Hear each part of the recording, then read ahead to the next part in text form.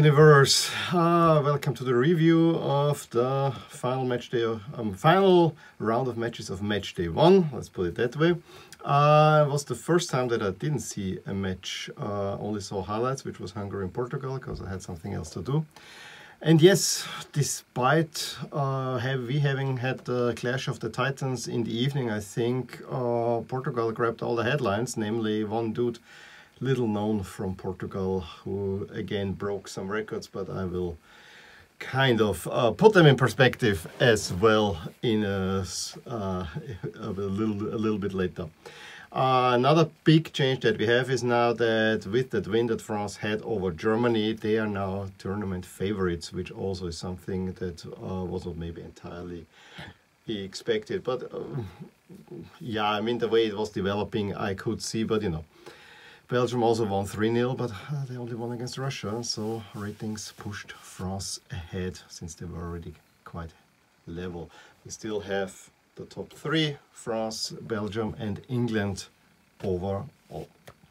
I would say let's get into the games.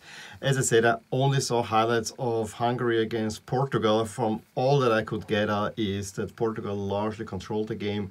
Ronaldo was missing a pretty big sitter uh, late in the first half. Of course, we need to talk full stadium or almost full stadium. Uh, I think uh, 61,000 feet in and there were 56,000 something like that. So, you know, but pretty full stadium, uh, which makes, of course, for a great atmosphere, although I find it a little bit, given the, the situation, yeah.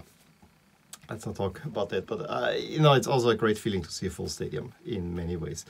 Uh, Hungary basically, and it's clear, Hungary needs to hunker in because in this group, if you go for the jugular, you're gonna get hit left and right.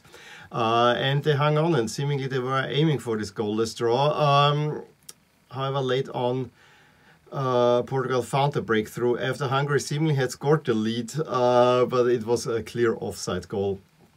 Uh, so yeah, uh, the lead came, it was a really messy goal. It's you know the ball comes to Guerreiro who takes a shot that takes a weird deflection. At first you didn't see Andre Silva was a little bit there too, but he has nothing to do uh, with, it. And so it's 1-0 Portugal. And that moment, uh, yeah, it was clear that Portugal is gonna win that one. Um, that they make it then three, especially that Ronaldo scores two. I think that's a different story. Uh, penalty, I think for me it was, was it the first penalty of the tournament? I even think. Um, for me, it seemed like a penalty, but you know, there are some people that say there's a, little bit too little contact Orban. I think he pulls him too often for it to be not a penalty. Uh, and then Ronaldo converts, and it's his 10th goal in the Euros. So now he's one ahead of Platini. And to top it off, he even manages to uh, snatch in stoppage time a second one. So now he's standing at 11 goals uh, over five tournaments. Uh, the goal actually had, had a hint of, of, of that after the Silva uh, pass. I think it was Rafa Silva. They have too many Silvas in the Portuguese court. So, yeah. Uh, get it in there around the keeper and it's a route for Hung Hungary that was seemingly never in the cards. Again, he has now 11 goals. Michel Platini had 9 goals. For me, the big difference is, and I know Ronaldo is an amazing player, however, 11 goals over 5 tournaments, 4, 8, 12, 16 and now uh, 21. Uh, is not as many as if you have Michel Platini who played one Euro, scored nine goals in there in five games. it's just a little different class. Yes, good on longevity. I mean, he's not the first uh, player to score in five uh, Euros. That is a record I think that um, uh, might hold, hold up much better than this overall goal scoring record. He also is, I think, uh, the one with the most games in a Euros tournament. Also, a little bit, you know, this will always favor, favor more recent players because now the Euros got so expanded. Michel Platini, this was an 8 team Euros. And yes, um, France probably should have participated in more uh, Euros, but um, they had like this brief peer period where they were really, really so, so superior to everyone else, and uh, Euro 18, Euro 88 didn't fall in these periods any, any, anymore. So yeah, uh, longevity, this is something that you have to definitely give to Ronaldo. He takes very good care of himself and so on and so on. Um, however, the 11 goals record, I never like totals. I rather like goals per game records. Uh, I think that uh, you need to put it a little bit in perspective. So for that reason, um, and screams for, for, for, for video, who is the best Euro goal scorer of all time, similar to what I've done for the World, the, the World Cup. So maybe that will come at one point as well. Still, congratulations. I mean, uh, I think especially the, the other two records, those are records that I think will stand and hold up much, much, much better than the uh, goal scoring record that he achieved yesterday. Moving on to uh, France against Germany. I've, I've, i was afraid with poor Portugal win this might might be kind of a tight game. Uh, fortunately, it did not necessarily turn out that way. Uh, however, clearly, uh, you could see in the entire game that the France is just too ridiculously talented uh, that even a German side that I I still think is underrated, but you you, see they have a, they cannot hold their own against France. I think uh, Germany played overall well, but in every you know in this, those little details, uh, you just could see that France is superior talented. They have goalkeeper I give to uh, give to Germany backline. Um, the French backline is better, but you know the the ridiculousness is you have a Kanté that counts already for two players, and then up front you have Mbappe and Benzema now, uh, which is a forward line that honestly there is not much chance for anyone else. Uh, if they can keep the team spirit, if they uh, play it smart with uh, minutes played and, and, and, and so on, uh, France should romp through this turn to, uh, to, to, tournament. I mean, this was just the crowning glory for France to get Benzema in, in there. And he was brilliant yesterday. Yes, uh, I, I think there were more uh, actions from Mbappe to, uh, you know, to please the eye or, there, but the way uh, Benzema con, contributed um, was all always kind of available. his technique is superior. It, it's just... It, just doesn't seem fair in many ways uh, for, for, for the opposition.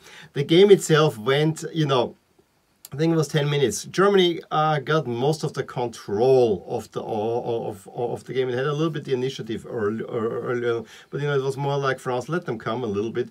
And then uh, starting around minute 15, France took over. There was uh, header or shoulder uh, ball from Pogba that should have gone in. There was a shot from Mbappe uh, that Neuer saved. And then brilliant lob over the defense from uh, Pogba towards Hernandez who makes the cross in. I mean, he has acres of space around around him. Um, play, play, play of space, Mbappe may, may, makes around, so Hummels needs, needs to go, he wants to clear, but gets his on his shin, you know, maybe too much panic, whatever it it, it, it was, he doesn't he hit it clean, it goes into his own net, 1-0 for France. And yeah, I think France then from that moment on really controlled the game, but they held back and that's the one thing. I mean, I saw a lot that France is boring. Uh, the France German was boring. I didn't necessarily think it was boring, but we know that France.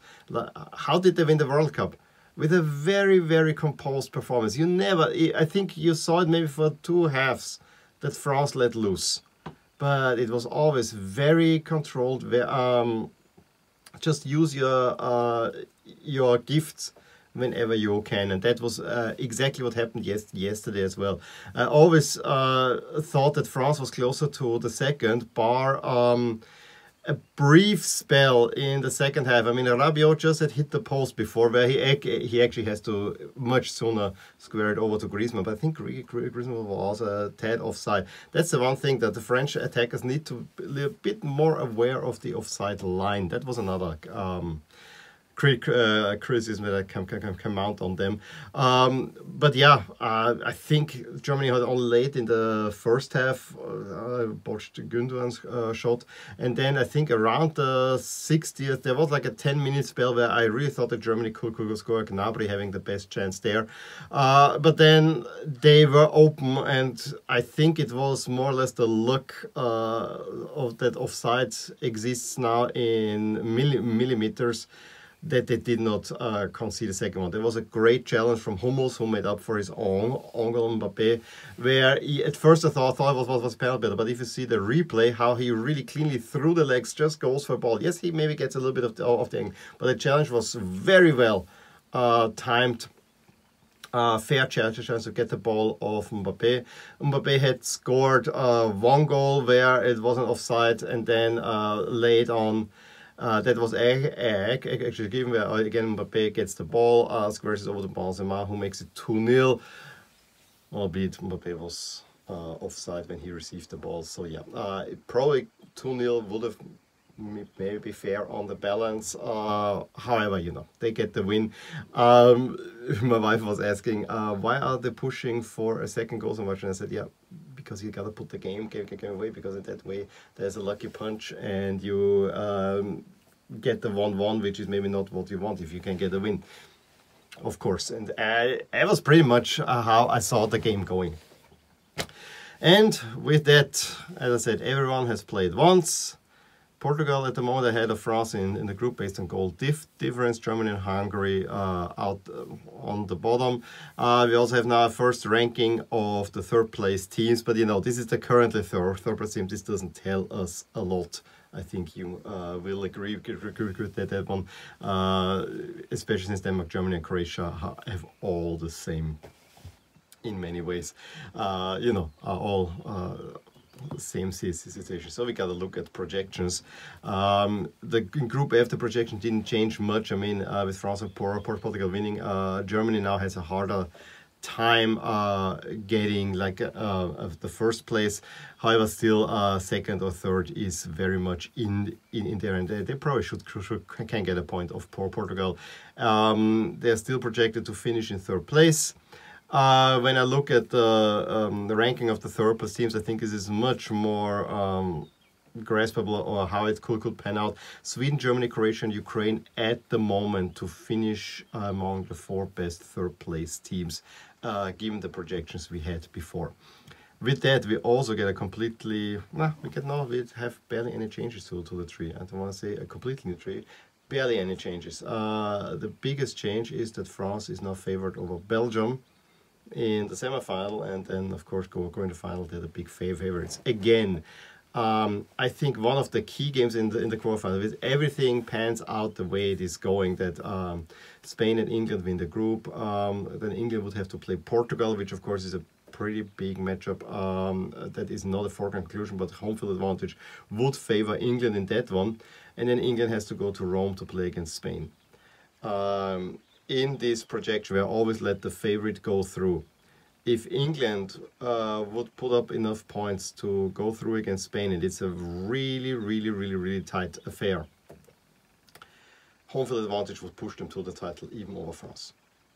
At least if you say that always the favorite, the favorite, favorite wins. Um, I also have to have to say with Italy again. Um, the only the only benefit I can see from not um, uh, from winning the group would be that you have to play London, Munich, London, which is probably much more um, palatable than if you would have to if you would finish second where you go Amsterdam which is not that bad but then you have to go to Baku. Maybe that's one thing but uh, if I look at just how the way the tree pans out finishing second in group A gives you a pretty sweet run to the semis. And there I would see uh, Italy would go through.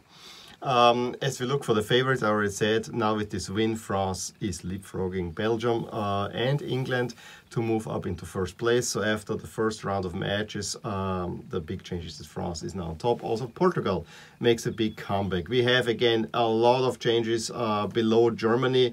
And again, uh, this 3-3 between Switzerland and Denmark is literally down to uh, they are so level that in the simulations one uh, or, or, the others are, is, is ahead. You can see this uh, daily flip-flop between Switzerland and Denmark that at, the, at this very moment they are seen as pretty much identically in chances.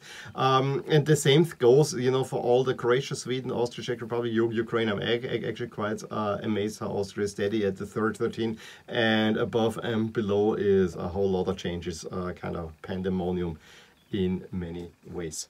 Um, what games do we have today? We have three games. Uh, we start off with Group B between Finland and Russia, which I think is a, a interesting one because Russia definitely would need the win. Um, but Finland, St. Petersburg is also not that far away, so um, I would expect a few Finnish fans there, which could make it interesting. Uh, Turkey against Wales, I think, is a make or break game for Turkey. Uh, if Wales get another point there, I think Ah, they probably all, also need a win. I think this this is a game where, where both need a win because Wales has to play Italy. However, Italy, if they would win against Switzerland, they more or less have won the group. Um, and so maybe uh, if Wales gets a draw, this could be enough for them. So uh, see, but I think Turkey, Wales, uh, I convinced myself that this actually might be an interesting one. I just don't like a stadium in Baku. So that was it from me for today. Give me a thumbs up if you enjoyed this video, subscribe to my channel if you want to see more, and I will talk to you soon. Bye! Hey, just in case you enjoyed this video, here are some videos and playlists that you actually might enjoy too. Also, please consider following me on social media and actually subscribe to my channel so that you stay updated with everything that happens in my soccer universe. And with that, have a wonderful day. Bye!